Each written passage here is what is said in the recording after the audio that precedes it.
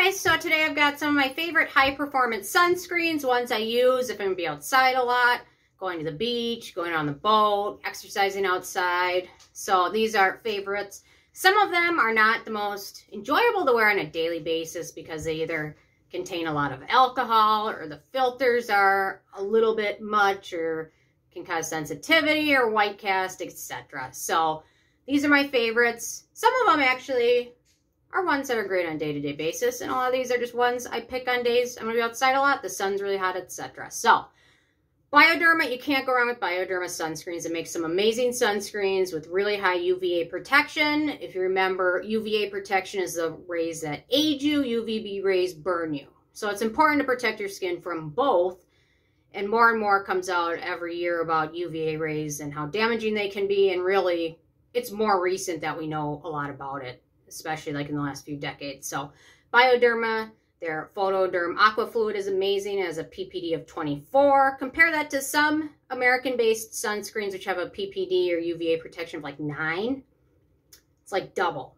Uh, but even more impressive, their Photoderm Cream has a PPD of 42, although they're not printing them on their newer boxes. I'm not sure why. They now consider proprietary information. I think more transparency is great, especially with sunscreens, especially with percentage of filters. I wish all brands in all countries had to do that. But anyway, so Bioderma, they also have tinted versions of these. Uh, they're both fragrance-free, alcohol-free, very nice. Uh, both contain four filters, do a great job. Okay, the next one up is the La Roche-Posay Shaka. They have a fragrance-free version of it, which is great for sensitive skin or people that don't like scent in their products.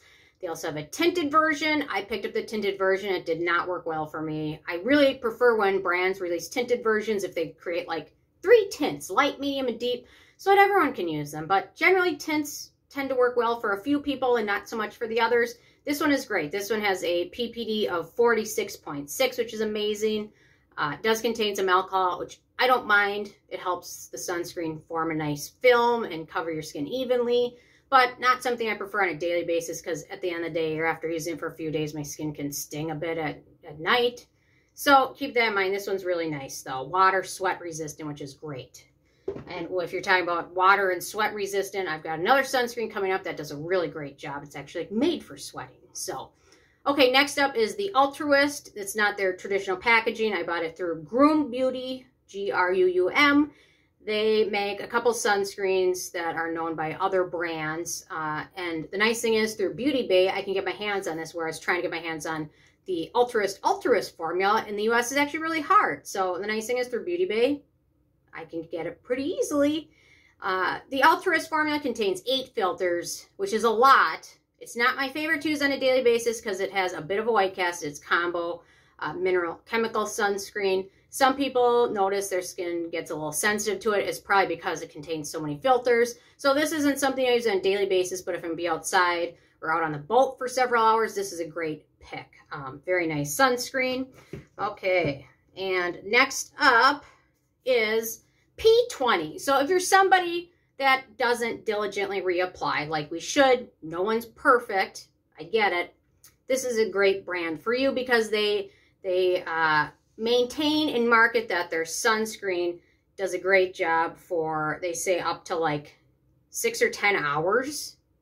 So they don't really say you need to reapply it, but if you think about it, you still should because it doesn't hurt to reapply it. Uh, the P20 alcohol-free, fragrance-free, uh, six filters, very water resistant, they say. Um, not my most elegant favorite sunscreen to use, but if I'm be outside or if I'm be out and I'm not going to have a chance to reapply, it's a great option. I'd rather have a white cast today than wrinkles tomorrow, I guess. Although the white cast today isn't very fun either, but trust me, it's a better option. Okay, next up, this one is also my favorite daily sunscreen. This is the Allie Kanebo Extra UV Gel. They make some great sunscreens. No fragrance in this one. This one is combo mineral chemical sunscreen. Uh, very impressive. Fragrance free, does contain alcohol. So I can't use it every single day, but I can use this one several days in a row without having any, any issues. Four filters, very, very, very light white cast, not super noticeable. I love using this one on a day-to-day -day basis or if I'm be outside a lot even. This one just does it all. I love this one. It's amazing. So I hope they never stop making this one. please, because I go to that one a lot. Okay, so sweating, exercising outside, Anessa is a great brand. They've got technology. It's their super special wet, I didn't call it, special wet sweat proof technology. It enhances UV protection uh, to form a film when you sweat or get wet, which is amazing. So it's special technology. Very sensitive skin friendly. Look for their mild formulas. Those generally are fragrance free and I think most of them are alcohol free too, but this one's my favorite. No alcohol, no fragrance, five filters, combo, mineral, chemical, on the more hydrating side, but if I'm going to be exercising outside, and I don't really exercise, I walk, but I still get hot and sweaty. This one's a great one. And I really actually like using this on a daily basis too. So, okay, then I've got three runner-ups. So those are my favorite ones, but I have three runner-ups that weren't at the top of the pack, but Still in there with some great sunscreens. ISDIN Fusion Water. This one's so light. I really enjoy it. I was actually a little surprised. It's alcohol free. It does have a slight fragrance that dissipates very quickly. It's barely noticeable. Five filters, all chemicals. Uh, also contains some nice antioxidants, including vitamin C. Feels very, very light on skin. So if you have oilier skin type, this one might be a nice option.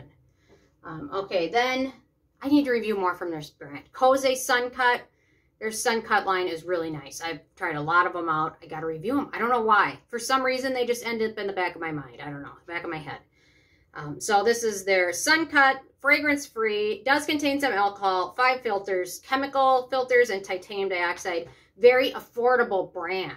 So if you look at Yes Style, they've got a lot of these, and they're all super affordable, generally in larger bottles too, which is very nice. So definitely will do a full review of that one. And last but not least, Eucerin. Uh, Avene is also makes some great sunscreens. I just haven't found a favorite Avene one I like though, but they do have some really good high performance sunscreens. I just haven't found a favorite. So that's why they're not on this list. Not because they don't have some great sunscreens, just because I didn't have a personal favorite.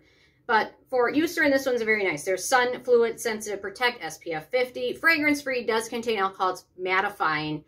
But in the heat of summer or humidity of summer, which is, you know, in Minnesota, like we get the worst. We get super humid summer and dry winters. But this one is a winner for, especially for oilier skin types, contains six filters, mineral and chemical, and um, they mention it's reef safe. I don't see that anywhere on here, but that's what they say. Avene, if you're looking for reef safe, Avene is does a lot with reef. So if you're close to an ocean, think about that. But there's some controversy there, but oh, that's a whole nother video, so I won't even get into that. But anyway, so another good option. So these are my favorites. The Eevee Moose, I can't wait. It's supposed to be here any day now, so maybe next year that'll be in my top roundup. We'll see. The Norman UV Cure, that's also a great one. Hard to get in the U.S., so I'm getting good at smuggling, but I hope the FDA doesn't show up at my house. I don't know. If they did, they I'm going to hide this all in my safe or something. So anyway, those are my favorites. I'm interested in what your favorite high performance sunscreens are. If I mentioned it, if not, leave a comment with what yours is uh, below. Love hearing from you guys and stay tuned for more tomorrow. Thank you so much, guys.